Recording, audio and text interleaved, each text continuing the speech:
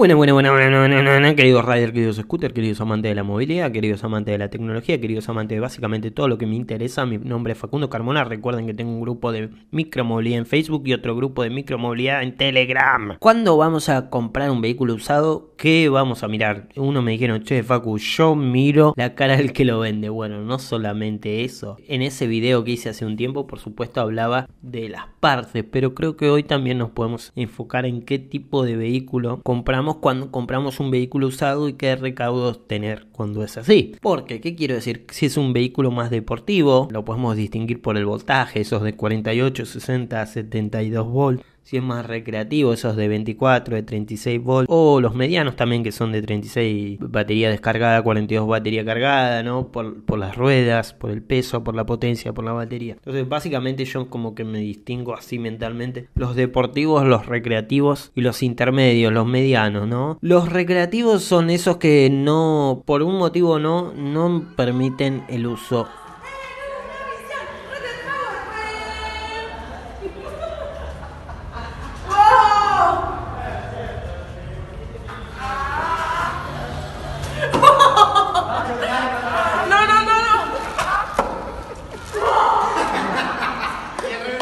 es decir, porque son chiquititos, porque tienen ruedas macizas muy chiquititas, porque tienen baterías pequeñas. Recuerden que las baterías pequeñas se degradan más rápidamente justamente por el estrés que sufren, que al ser pequeñas no nos alcanza la autonomía y están todo el tiempo cargándose y descargándose. Y eso eh, afecta clara, claramente. Entonces, bueno, ese es un punto a mirar, ¿no? Si vamos a comprar un vehículo que tiene batería pequeña y posiblemente ya esté por sufrir una degradación. Por supuesto, después un vehículo usado o deportivo y podemos presumir que el que se compra un vehículo deportivo y lo va a querer pistear en algún momento, ¿no? Va a querer andar, va a querer correrlo. Más allá de si lo tunea o no, eh, le pone agregados, eso nadie lo valora. Todos los agregados que vos le pongas al vehículo, muy poca gente lo va a valorar y a la hora de venderlo como usado te lo van a derribar el precio. Ese es otro motivo, por más que esté con todos los relojitos, tacómetros, estabilizador eh, de dirección, todo lo que se te ocurra que nosotros nos encanta hacer hay que ser conscientes que no lo van a valorar en la reventa. Es algo que lo hacemos por pasión, por, eh, por aprender también y por eh, un ejercicio de, belleza también, de estilo propio, ¿no? Para desarrollar en ese vehículo, pero sabemos que no vamos a tener ese retorno de la inversión. Pero sin irme de tema, en esto de los vehículos deportivos, hay que recordar que esa gente la va a pistear más,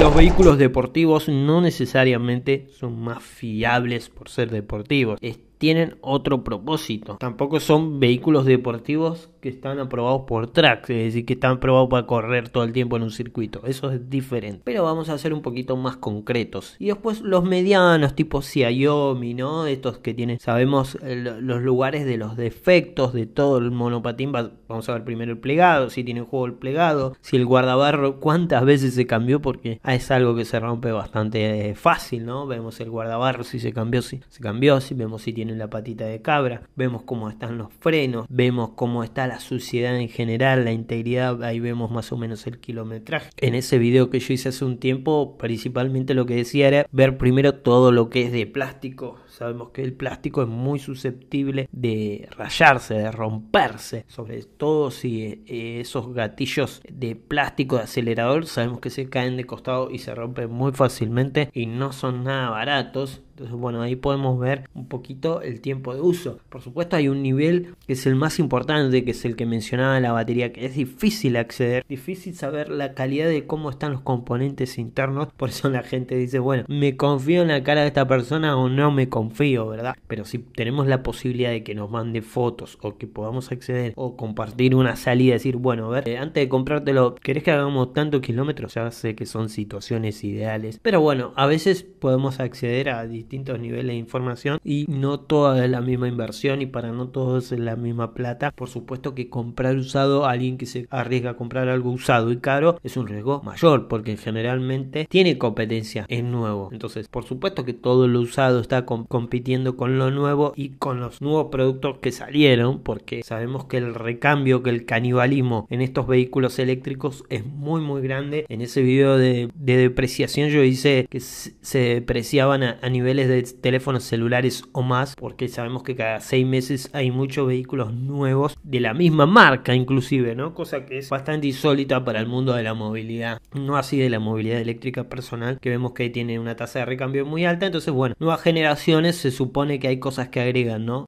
En general más allá de las luces que todos agregan.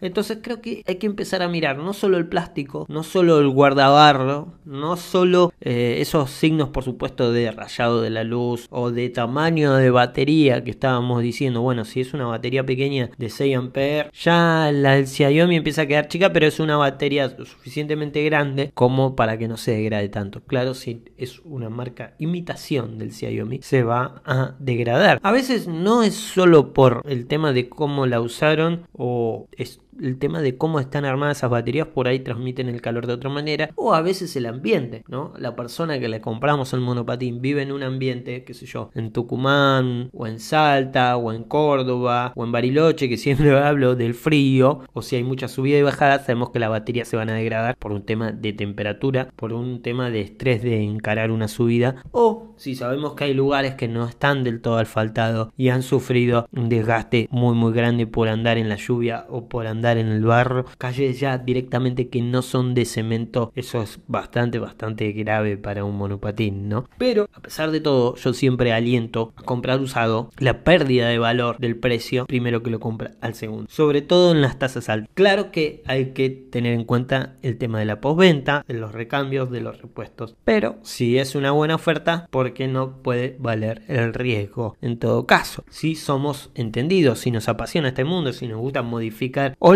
entonces, básicamente, esos serían los pilares. Primero, qué tipo de vehículo es, eh, dónde fue usado ese vehículo, en qué ambiente fue usado ese vehículo. Y después, por supuesto, las cosas técnicas de tamaño de batería y todo. Y todo lo visual que ya repasé en el primer video ese, que se puede tocar y que se puede ver y que son cosas difíciles de ocultar en el tamaño de la rueda, en el tamaño del guardabarro, en el tamaño de todo lo que es de plástico, etcétera, etcétera, etcétera. Así que muchas gracias por haber escuchado hasta acá. Recuerden que tengo un Instagram que juega TV, que tengo un grupo de micromovilidad en Facebook, que tengo otro grupo en Telegram. Y ya saben cómo valorarlo, cómo suscribirse, cómo poner la campanita. Nos vemos la próxima, muchachos.